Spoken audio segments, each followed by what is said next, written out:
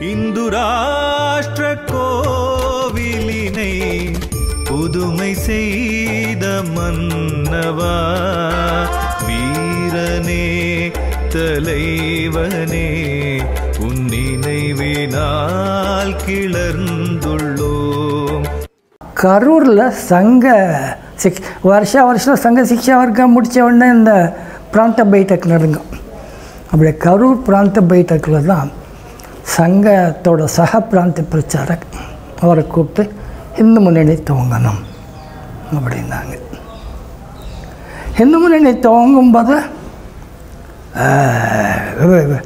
எப்படி சத்ரபதி சிவாஜி நீ ஜப்தா இது ஜமீதார் நீ சுப்தார் அப்படின்னு அவனை கூப்பிட்டு கொடுத்துருவார் அது அவன் தான் அந்த ஏரியாவில் பண்ணிக்கிறான் அப்படி தான் சங்கத்தில் எப்படி விஸ்வந்த் வருஷத்தை ஆரம்பிங்கன்னு அங்கே ஜனசங்கத்தை ஆரம்பிங்கன்னாங்க பிஎம்எஸ் ஆரம்பிங்கன்னாங்க ஏபிபி அது மாதிரி இந்த முன்னணி நம்ம கையில் அஞ்சு காசு கிடையாது. ஆனால் போகிற ஊர் ஒவ்வொருத்தரையுமே அவர் இப்போ சக பிராந்த பிரச்சாரக்கத்தான் இருந்தாங்க. போகிற ஒவ்வொரு ஊர்லேயுமே நம்ம சங்க காரியகர்த்தர்கள் முழுசாக இருந்தோம். அப்போது நமக்கு ஒரு மாணிக்கம் கிடைச்சார். நாகர்கோவில் ஜில்லாவில். நாடாளுமன்ற உறுப்பினராகவும் இருந்தவர். அவரெல்லாம் பிரதம மந்திரியாக இருந்தால் பாரத நாடு ஆயிரத்தி தொள்ளாயிரத்தி அறுபதுகளிலே உலக வல்லரசாக இருந்திருக்கும். நமக்கு அதை அப்போ கொடுக்க வைக்கல. இப்போ அந்த சூழ்நிலை வந்துடுச்சு. ஐயா பெரியவங்க தாழ்நிங்க நடார் ஐயா கிடைச்சாங்க.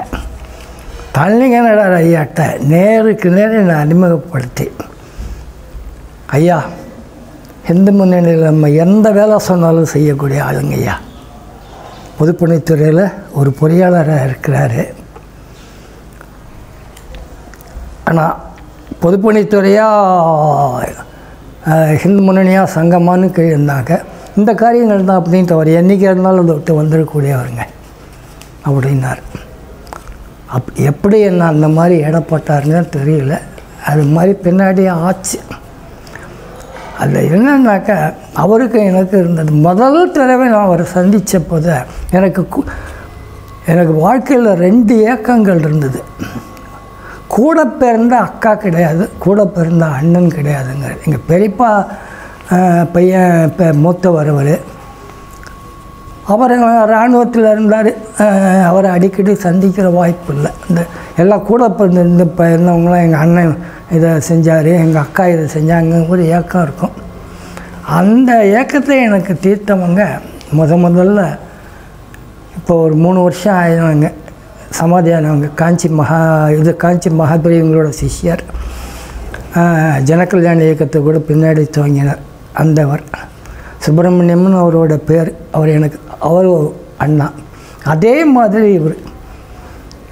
அவர் அண்ணான்னு நான் கூப்பிட்டதில் அவருக்கு அவ்வளோ சந்தோஷம் கடைசி வரையில் இல்லை எங்கள் அண்ணா சங்கரையர்